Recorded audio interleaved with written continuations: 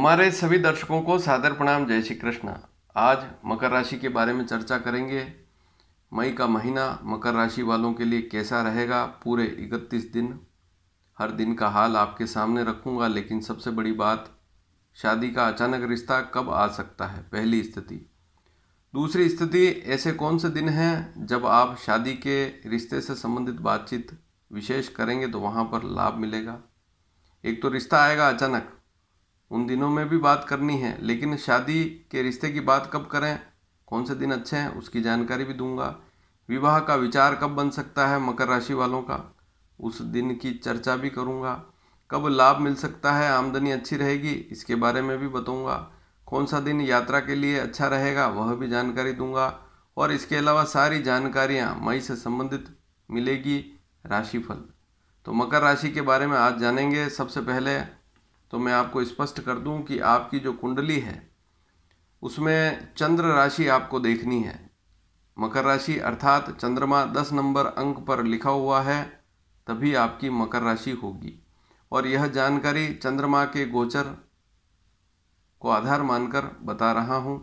चंद्र कुंडली के आधार पर चंद्रमा का गोचर क्या क्या फल दे सकता है, कौन सा दिन शुभ रहेगा और किस दिन सावधानी रखनी है। तो सबसे पहले बात करेंगे एक मई के बारे में। एक मई का दिन आपके लिए कैसा रहेगा? तो यहाँ पर एक मई का दिन जो है, यहाँ पर चंद्रमा शुभ नहीं है आपकी राशि से। अगर चंद्रमा की गणना करें तो चौथा पड़ेगा। चौथा चंद्रमा शुभ नहीं होता है। चौथे चंद्रमा में, आठवें चंद्रमा में और बारहवें चंद्रमा में शुभ कार्य भी नहीं किए जाते हैं, मुहूर्त भी नहीं किए जाते हैं। तो एक मई का दिन ठीक नहीं है थोड़ा सा भय रहेगा, चाहे नौकरी से संबंधित हो, चाहे व्यापार से संबंधित हो। व्यर्थ वाद विवाद किसी से इस दिन बिल्कुल ना करें, क्योंकि समस्या रह सकती है। यदि वाद विवाद में पड़े तो समस्या हो सकती है। थोड़े से विचार भी अधिक रहेंगे और परिवार में क्लेश की स्थिति रह सकती है। स्वभाव में तेज़ी रहेगी आपके तो क्लेश वाली स्थिति भी रहेगी। जल्दबाजी बिल्कुल ना करें, जैसे मकान खरीदना, भूमि खरीदना, वाहन खरीदना या और कोई ज़रूरी काम है तो उसमें जल्दबाजी बिल्कुल ना करें एक मई के दिन। दाम्पत्य में भी अनबन का योग बन सकता है। शादी हो चुकी है तो पति पत्नी में तनाव वाली स्थिति भी एक मई के दिन रह सकती है। मान लीजिए कोई महिला है, मकर राशि है तो पति से प्रेम पूर्वक बात करें एक मई के दिन। या दाम्पत्य में सुख रहे, दाम्पत्य जीवन अच्छा रहे, ऐसा आचरण करें। और यदि पुरुष है तो पत्नी के साथ प्रेम से रहे, प्रेम से बातचीत करें। तो दाम्पत्य में अनबन ना हो, इस बात पर ध्यान देवें। भौतिक संसाधनों में रुचि होगी, वही बात, मकान, भूमि, वाहन खरीदना, या अन्य घर में सुख सुविधा का साधन लेकर आना, लेकिन इस दिन चंद्रमा ठीक नहीं है, दिन ठीक नहीं है। विचार तो बनेगा, लेकिन दिन ठीक नहीं है। नौकरी और व्यापार, दोनों में स्थिति सामान्य रहेगी, कोई बड़ी समस्या वाली बात नहीं है। अब बात करेंगे दो, तीन, चार मई। ये तीन दिन कैसे रहेंगे? मई के तीन दिन कौन कौन से? दो मई, तीन मई और चार मई। इन तीन दिनों में यदि किसी से प्रेम करते हैं आप तो इन दिनों में परिवार में बातचीत करेंगे तो आगे प्रेम के बाद विवाह वाली स्थिति भी बन सकती है। तो प्रेम विवाह करना चाहते हैं तो रिश्ते की बात करें घर वालों से। और विवाह का विचार भी बनेगा इन तीन दिनों में। शुभ स्थिति है, विवाह का विचार भी अगर मकर राशि के हैं आप तो आपका विचार बनेगा शादी का। और कोई लड़का है, लड़की है, आपके परिवार में विशेषकर माता पिता अगर इस वीडियो को देख रहे हैं तो विशेष ध्यान देवें। संतान की मकर राशि है तो उसका विचार इन दिनों में बनेगा तो आप भी आगे से कहीं रिश्ता आता है तो संतान को अवश्य दिखाएँ। ध्यान देंगे तो लाभ मिलेगा। भाग्यशाली दिन हैं, तीनों दिन अच्छे हैं। संतान की थोड़ी सी चिंता रह सकती है। संतान है तो थोड़ी सी चिंता रह सकती है। बुद्धि स्थिर रहेगी तो जो सोचेंगे, उस पर अडिग रहेंगे इन तीन दिनों में। यात्रा में ठीक ठीक स्थिति रहेगी, धन का लाभ अवश्य होगा इन दिनों में। और जो उच्च अधिकारी हैं, उनसे सावधानी रखनी है, बातचीत में सावधानी रखें, नौकरी कर रहे हैं तो जो उच्च अधिकारी हैं, वहाँ सावधानी रखें। या व्यापार में भी हैं और कोई ऐसा मामला आता है जहाँ बड़े अधिकारी आते हैं, सरकारी अधिकारी आते हैं तो उनसे सावधानी पूर्वक बात करें। पाँच और छः मई के बारे में जानेंगे, ये दिन कैसे रहेंगे? तो कोई पुरुष है तो पत्नी का स्वास्थ्य नरम रहेगा और कोई महिला है तो पति का स्वास्थ्य नरम रहेगा पाँच और छः मई को। तो इस बात पर ध्यान दें। व्यर्थ, बहस इन दिनों में भी किसी से ना करें। गुस्सा रहेगा, चिड़चिड़ापन रहेगा, बहस बिल्कुल ना करें, चाहे व्यापार में है, चाहे नौकरी में है। पार्टनरशिप अगर कर रखी है तो पार्टनर के साथ भी सावधानी पूर्वक रहें। व्यापार में लेन देन भर लेन देन करते हैं तो वहाँ पर भी आपको सावधानी रखनी होगी। धन का लाभ ज़रूर होगा, लेकिन लेन देन में सावधानी रखनी है। शुभ खर्च भी होंगे, धार्मिक कार्यों पर पर खर्च भी होंगे, और यात्रा का योग भी बनेगा पाँच छः मई को। अब बात करेंगे सात, आठ और नौ मई, ये तीन दिन कैसे रहेंगे मकर राशि वालों के लिए? तो इन दिनों में सातवां चंद्रमा रहेगा, सप्तम चंद्रमा शुभ स्थिति में है। अचानक शादी का रिश्ता आएगा इन तीन दिनों में। तो ध्यान देंगे तो लाभ मिलेगा। अचानक शादी का रिश्ता आएगा, सात मई, आठ मई, नौ मई, तीन दिन अच्छे हैं। शादी का रिश्ता कहीं से आता है तो बातचीत करें। और आप चाहें तो आगे बढ़कर भी कहीं बातचीत करेंगे शादी से संबंधित तो वहाँ पर भी अचानक लाभ मिलेगा। विवाह का विचार भी बनेगा इन तीन दिनों में, सात, आठ, नौ मई को। दाम्पत्य जीवन भी उत्तम रहेगा, शादीशुदा हैं तो दाम्पत्य जीवन भी अच्छा रहेगा, पिता को लाभ मिलेगा। प्रेम विवाह करना चाहते हैं, तब भी माता पिता से इस समय में बातचीत करें, इन दिनों में बातचीत करें। सम्मान भी मिलेगा खान पान में भी रुचि रहेगी, व्यापार में भी शुभ है, धन का लाभ होगा, यात्रा योग भी बनेगा इन तीन दिनों में। अब बात करेंगे दस और ग्यारह मई के बारे में। लेन देन में थोड़ी सावधानी रखें इन दिनों में। आठवां चंद्रमा रहेगा। वही बात, आठवें चंद्रमा, आठवां चंद्रमा हो तो शुभ कार्य नहीं किए जाते हैं। जैसे विवाह नहीं किया जाता है या कोई मुहूर्त भी नहीं किया जाता है। और वैसे भी आठवां चंद्रमा शास्त्रकारों ने इसे अशुभ कहा है। तो यहाँ पर आपको क्या क्या सावधानी रखनी है? लेन देन में सावधानी रखनी है। शरीर में नरमी रह सकती है, रोग रह सकता है, धन का लाभ ज़रूर होगा। धन लाभ तो अवश्य होगा। पारिवारिक समस्याएँ रह सकती है, गुस्सा रहेगा क्रोध, गुस्सा रहेगा और थोड़ी सी चिंता भी रहेगी इन दिनों में। दस और ग्यारह मई को। अब बात करेंगे बारह और तेरह मई। ये दो दिन कैसे रहेंगे? मकर राशि वालों के लिए नवा चंद्रमा रहेगा, नवम। तो दाम्पत्य में भी शुभ स्थिति है। विवाह का विचार भी बनेगा इन दिनों में। अचानक विवाह का रिश्ता भी आएगा इन दिनों में, बारह, तेरह मई को। तो ध्यान देवें और कहीं शादी समारोह है, वहाँ पे भी जाते हैं तो ठीक रहता है। अक्सर जाते नहीं हैं बच्चे। समाज में मिलना जुलना होता रहता है तो उससे भी लाभ मिलता है। और अगर समाज से कट जाते हैं, दूर रहते हैं तो फिर रिश्ते कम आते हैं। इस बात पर भी ध्यान देना पड़ता है। तो विवाह का विचार बनेगा। अचानक विवाह का रिश्ता, शादी का रिश्ता आएगा बारह और तेरह मई इन दिनों में। प्रेम विवाह करना चाहते हैं तब भी रिश्ते की बात घर वालों से अवश्य करें। लाभ मिलेगा। यात्रा में भी रुचि रहेगी, शुभ कार्यों में रुचि रहेगी, शिक्षा में भी या उच्च शिक्षा, कोई हायर डिग्री लेना चाहते हैं एमए या बीएड है या इसके अलावा एमबीए है या पीएचडी है तो उसमें भी लाभ वाली स्थिति रहेगी। जल्दबाजी बिल्कुल ना करें बारह और तेरह मई को। अन्य स्थितियाँ सारी ठीक है, अच्छे अच्छे दिन हैं दोनों। अब चौदह और पंद्रह मई के बारे में जानेंगे।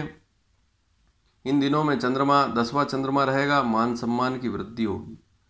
नौकरी में शुभ स्थिति रहेगी तो यहाँ पर यह स्थिति भी ठीक है। लोगों से सहयोग भी मिलेगा इन दिनों में, और जो भी काम करेंगे उसमें सुगमता रहेगी। नौकरी और व्यापार से संबंधित यात्रा भी इन दिनों में अवश्य हो सकती है, और इसके अलावा रिश्तेदारों से भी लाभ वाली स्थिति इन दिनों में हो सकती है। तो रिश्तेदार जो हैं या सगे संबंधी हैं उनसे लाभ मिल सकता है। इसके अलावा बुद्धि से या बुद्धिमानी से आप अपनी बुद्धि से जो भी काम करेंगे, उसमें लाभ अच्छा अर्जित करेंगे। भूमि, मकान, वाहन खरीदने का विचार भी बनेगा और खरीदने का योग भी बनेगा, खरीद भी सकते हैं। अब बात करेंगे 16 और 17 मई, ये दो दिन कैसे रहेंगे? अच्छे रहेंगे, ग्यारहवा चंद्रमा है, अच्छी स्थिति है, आमदनी में भी शुभ स्थिति रहेगी। धन का लाभ भी होगा और सबसे बड़ी बात, प्रेम विवाह करना चाहते हैं, विवाह करना चाहते हैं, पसंद करते हैं किसी लड़की को या या लड़की है कोई, किसी लड़के को पसंद करती है तो प्रेम विवाह करना चाहते हैं तो परिवार में प्रेम विवाह, रिश्ते की बात अवश्य करें। पिता को लाभ मिलेगा इन दिनों में, सोलह और सत्रह मई को, और पिता से भी लाभ वाली स्थिति रहेगी। पत्नी से भी लाभ मिलेगा। कोई पुरुष है मकर राशि का तो पत्नी से लाभ मिलेगा, कोई महिला है मकर राशि की तो पति से लाभ मिलेगा सोलह सत्रह मई को। तो वहाँ पर लाभ वाली स्थिति रहेगी, मित्रों से भी लाभ वाली स्थिति, मित्रों से मिलना, घूमना, फिरना, इस प्रकार की स्थितियाँ बनेगी। भौतिक समस्त प्रकार के लाभ इन दो दिनों में आपको मिलेंगे। घर की सुख सुविधा बढ़ाने वाले साधन खरीद कर ला सकते हैं, सुख सुविधाओं में वृद्धि होगी। शुभ दिन है और इसके अलावा ग्यारहवा चंद्रमा है तो शुभ कार्यों में आना जाना हो सकता है, कहीं विवाह में जाना या किसी शुभ कार्य में आना जाना हो सकता है। अब बात करेंगे 18 और 19 मई के बारे में। ये दो दिन बारहवा चंद्रमा रहेगा। बारहवा चंद्रमा खर्च का होता है, शास्त्रकारों ने कहा है खर्च का, यात्रा का। तो यहाँ क्या सावधानी रखनी है? एक तो दाम्पत्य जीवन में सावधानी रखनी है। शादीशुदा जीवन खराब ना हो पति पत्नी में तनाव ना रहे, इस बात पर ध्यान देवें अन्यथा ये दो दिन ठीक नहीं है। यात्राओं में भी सामान्य रहेंगे, यात्रा योग तो है, लेकिन सामान्य दिन है। अनावश्यक खर्च ना करें, कोई ऐसा खर्च ना करें जिससे फिर बाद में पछताना पड़े। तो अधिक खर्च से बचें, धार्मिक यात्रा का योग भी बन सकता है इन दिनों में। वाणी पर थोड़ा सा ध्यान लगावें। कम बोलेंगे तो ठीक रहेगा अच्छा बोलें, कम बोलें अच्छा बोलें। लेन देन में थोड़ी सी सावधानी रखेंगे तो ठीक रहेगा। थोड़ी चिंता रहेगी, मानसिक विचार भी बहुत ज़्यादा रहेंगे। और दूर की यात्रा या विदेश यात्रा के योग भी बन सकते हैं इन दिनों में। अब बात करेंगे 20 और 21 मई के बारे में। इन दो दिनों में चंद्रमा आपकी राशि पर ही रहेगा। शादी के रिश्ते की बात कर सकते हैं। शुभ दिन है, लाभ उठाएँ। दाम्पत्य स्थिति भी ठीक रहेगी, दाम्पत्य जीवन भी ठीक रहेगा। धन का लाभ भी मिलेगा, पार्टनरशिप है तो वहाँ पर भी लाभ मिलेगा, आनंद की प्राप्ति होगी इन दिनों में। लोगों से मिलना जुलना हो सकता है, खरीदारी का योग बन सकता है खान पान में रुचि रह सकती है। विचारों में थोड़ा बदलाव अवश्य होगा, यात्रा का योग भी बनेगा बीस और इक्कीस मई को। अब बात करेंगे बाईस, तेईस, चौबीस मई, ये तीन दिन कैसे रहेंगे? पत्नी से लाभ मिलेगा या पति से लाभ मिलेगा? यह स्थिति बनेगी। आपकी मकर राशि है तो आपको पति से लाभ मिलेगा या पत्नी से लाभ मिलेगा? अचानक लाभ के योग भी बनेंगे इन दिनों में। वाणी में थोड़ी सी तेज़ी रहेगी, क्योंकि शनि और चंद्रमा का योग है दूसरे स्थान पर। इसे विष योग भी कहते हैं। ऐसी वाणी बिल्कुल ना बोलें जो जहर के समान हो और अगला व्यक्ति जिसको आप जिसको आप गलत बात कह रहे हैं, वो फिर आपका शत्रु बन जाए। तो सावधानी रखें। थोड़ी जल्दबाजी भी रहेगी इन दिनों में, बाईस, तेईस, चौबीस मई को, लेकिन सावधानी रखेंगे तो कोई समस्या वाली बात नहीं, चंचलता भी रहेगी। शिक्षा पर ध्यान दें। शिक्षा ठीक ठीक है, लेकिन थोड़ा ध्यान अवश्य लगावें। नई योजना पर विचार हो सकता है, नया व्यापार या नई नौकरी, ऐसा कोई विचार बन सकता है। 25-26 मई के बारे में जानेंगे। दूर यात्रा का योग बनेगा। तीसरा चंद्रमा है। धार्मिक यात्रा भी हो सकती है। धार्मिक विचार भी रहेंगे। खरीदारी का योग भी बनेगा। भौतिक समस्त प्रकार के लाभ आपको मिलेंगे। विवाह का विचार बनेगा इन दिनों में। 25 और 26 मई को। रिश्तेदारों से भी लाभ वाली स्थिति रहेगी। स्वभाव शौकीन रहेगा। शौक पर खर्च भी करेंगे, मनपसंद वस्तुओं पर खर्च करेंगे, या मनपसंद खान पान पर खर्च करेंगे। मकान, भूमि, वाहन का विचार बनेगा, खरीदने का योग भी बनेगा। सुख सुविधाओं में कोई कमी नहीं रहेगी, उत्तम सुख सुविधाएँ रहेगी। आमदनी में भी शुभ स्थिति रहेगी और समस्याओं का समाधान होगा। 25 और 26 मई को। तो कोई समस्या है? पुरानी कोर्ट कचहरी का मामला है, तब भी समाधान है। पारिवारिक कोई समस्या है, तब भी समाधान का योग बनेगा। अब बात करेंगे 27 और 28 मई के बारे में। ये दोनों दिन वापस वही बात, चंद्रमा चौथा रहेगा तो समस्या रहेगी। नौकरी व्यापार में कोई समस्या वाली बात नहीं। भौतिक संसाधनों में भी रुचि होगी, जैसे मकान खरीदूं, वाहन खरीदूं या कोई वस्तु खरीदूं। तो इन दिनों में खरीदना वैसे ठीक नहीं रहेगा, इनके बाद में खरीदेंगे, अच्छे दिनों में तो ठीक रहेगा, विचार ज़रूर बनेगा। पारिवारिक समस्याएँ रहेगी या दाम्पत्य जीवन में भी समस्या रहेगी तो पत्नी से या पति से प्रेम पूर्वक बातचीत करें, जल्दबाजी बिल्कुल ना करें, अन्यथा जो भी काम करेंगे जल्दबाजी में फिर नुकसान वाली स्थिति भी रह सकती है, और किसी से विवाद, बहस बिल्कुल ना करें। ज़्यादा सोचेंगे तब भी कोई फ़ायदा होने वाला नहीं तो इन दिनों में विचार भी अधिक रहेंगे, कम विचारेंगे तो ठीक रहेगा। अब बात करेंगे उनतीस, तीस और इकतीस मई, ये तीन दिन, अंतिम दिन। तो इन दिनों में अच्छी स्थिति है। एक तो आपके साथ में जो नौकरी करते हैं या उच्च अधिकारी हैं, उनसे सावधानी पूर्वक बातचीत करें। धन का लाभ अवश्य होगा, यात्रा में भी रुचि रहेगी, यात्रा होगी भी। और बुद्धि भी आपकी स्थिर रहेगी, जो सोचेंगे वही करेंगे। संतान की थोड़ी सी चिंता रह सकती है। भाग्यशाली दिन है, कोई समस्या वाली बात नहीं है। विवाह का विचार भी इन दिनों में अवश्य बनेगा, उनतीस, तीस, इकतीस मई, तीन दिनों में। और किसी से प्रेम करते हैं, प्रेम विवाह करना चाहते हैं तो माता पिता से इस संबंध में बातचीत अवश्य करें इन तीन दिनों में। तो मकर राशि पूरे महीने का हाल आपने जाना, लेकिन अब सावधानी के दिन वापस रिपीट कर देता हूँ। एक मई पूरा दिन ठीक नहीं है, इसके बाद दस और ग्यारह मई, ये पूरे दो दिन ठीक नहीं है। हालाँकि नौ मई शाम को पाँच बजकर सात मिनट से स्थिति ठीक नहीं है। नौ मई का पूरा दिन अच्छा है। नौ मई पूरा दिन अच्छा है, लेकिन शाम को पाँच बजकर सात मिनट बाद फिर स्थिति ठीक नहीं है। फिर दस मई पूरा ठीक नहीं, ग्यारह मई पूरा ठीक नहीं। अट्ठारह और उन्नीस मई, ये दो दिन भी ठीक नहीं है। इनमें भी सावधानी रखें। सावधानी क्या रखनी है, उसके बारे में बता चुका हूँ इसी वीडियो में। इसके बाद सत्ताईस मई, अट्ठाईस मई। इन दो दिनों, ये पूरे दो दिन हैं, सत्ताईस मई और अट्ठाईस मई। इन दिनों में भी ध्यान देवें। और उनतीस मई, ट्वेंटी नाइन मई। पूरा अच्छा है, लेकिन सुबह ग्यारह बजे से पहले थोड़ी सावधानी रखनी है। सवा ग्यारह से पहले थोड़ी सावधानी अवश्य रखें। तो यह जानकारी आपको कैसी लगी, अच्छी लगी हो तो इसे अधिक से अधिक शेयर करें।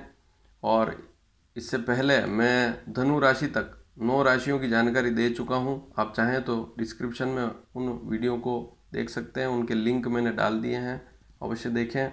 और अभी तक इस वीडियो को आपने लाइक नहीं किया है तो यहाँ लाइक का बटन है, अवश्य लाइक करें। और चैनल को सब्सक्राइब करना बिल्कुल ना भूलें, क्योंकि आने वाले समय में और भी महत्वपूर्ण जानकारियाँ आपको समय समय पर दी जाने वाली है। तो वह जानकारियाँ अगर आपको समय पर चाहिए तो चैनल को सब्सक्राइब करें और यहाँ पर इस वीडियो को शेयर भी अवश्य करें। धन्यवाद, जय श्री कृष्ण।